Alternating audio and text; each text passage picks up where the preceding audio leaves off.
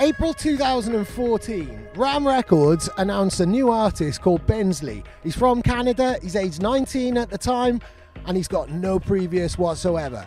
April 2015, they release his debut, a full artist album called Next Generation. A bold move from Ram and a beautiful move from Bensley. Fast forward to April 2019, he's just released his first single of his second album. The single's called Kilauea. It's named after a Hawaiian volcano, and the album's pretty explosive too. An adventurous piece of work, it crosses over lots of genre boundaries and even includes Bensley on saxophone. The album's called Muskoka, it's out in July, and it's named after the Ontario region in which he grew up and learned to do cool stuff like produce music, play the saxophone, and even wakeboard, which is why we're here at Wake Up Docklands, London, to see him enjoying a bit of his favourite pastime and find out a bit more about the album too. Time to get woke. Cool, so this is quite an interesting one for you because the last time you were wakeboarding, you broke your ankle, right? Yeah, that was back home in Canada about August, and I haven't done it since then. That sort of put an end to my season, but I brought you guys out here to sort of document the first time I'll be doing it since then, so hopefully that goes well.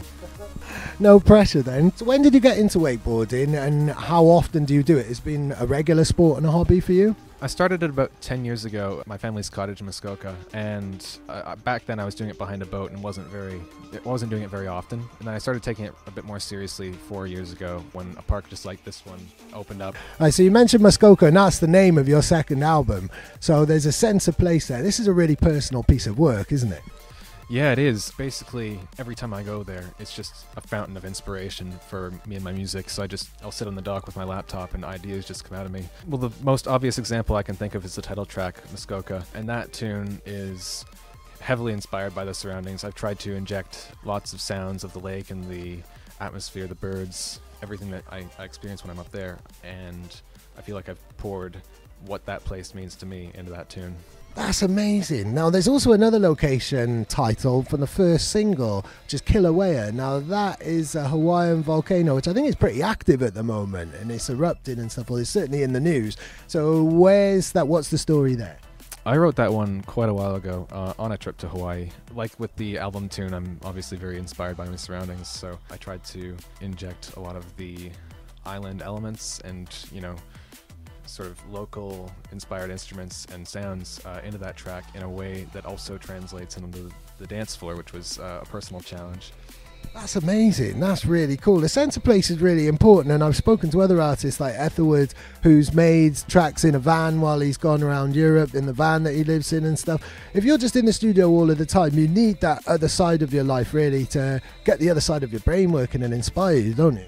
Yeah, if you if you stay in the studio all the time, it's going to sound like you're inspired by the studio, or in, at least in my experience, nothing good comes out of being cooped up for too long. So, getting out there, you know, getting some experiences that put you in a different frame of mind, uh, all benefit you when you go back in the studio.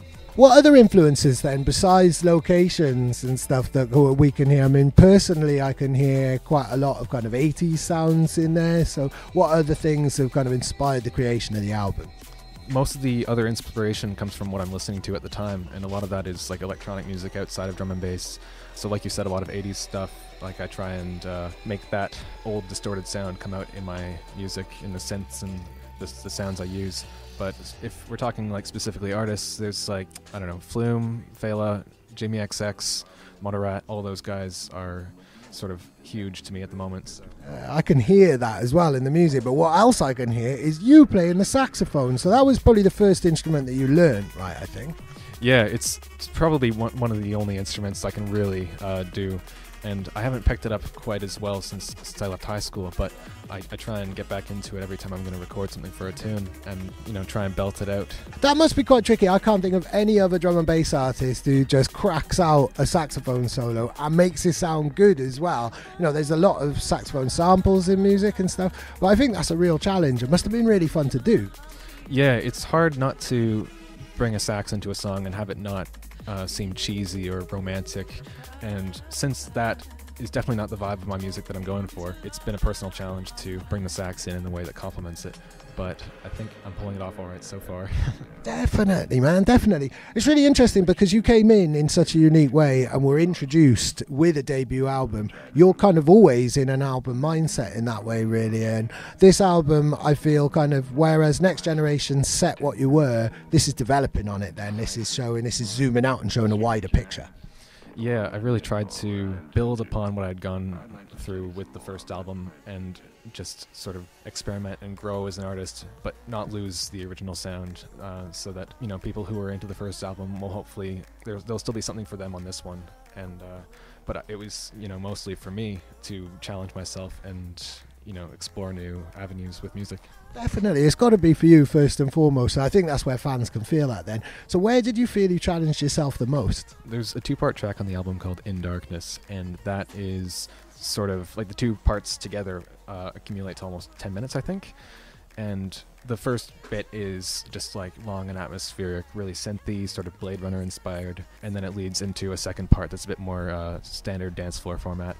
And uh, you know, committing to a journey that long was definitely intimidating, but it, it, I felt like it happened pretty naturally. And uh, once I had finished it, I felt like I'd sort of overcome a big challenge as an artist, which is you know making a track longer than four or five minutes. You know.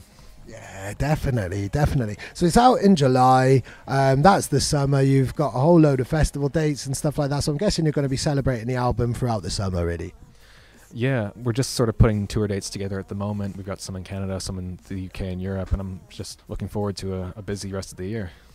Hey, I'm Bensley. Check out my new album, Muskoka, and uh, you're watching DNB TV.